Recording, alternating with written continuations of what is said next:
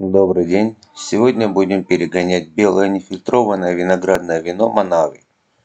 Очень приятное на вкус, цвет и ароматика соответствующие, предположительно крепостью 11 градусов, как заявлял производитель.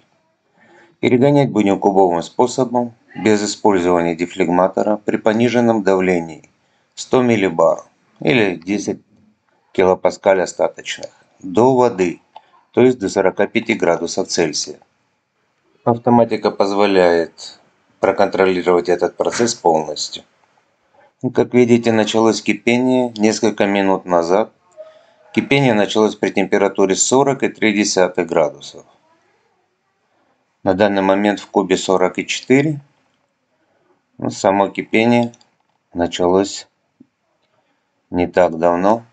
Сверим заявленное количество алкоголя от производителя. Проверим по калькулятору Руди. Видно, что при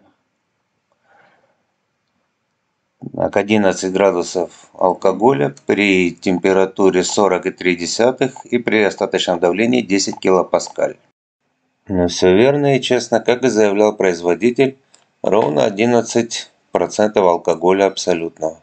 Остальные параметры такие. 70% подачи энергии.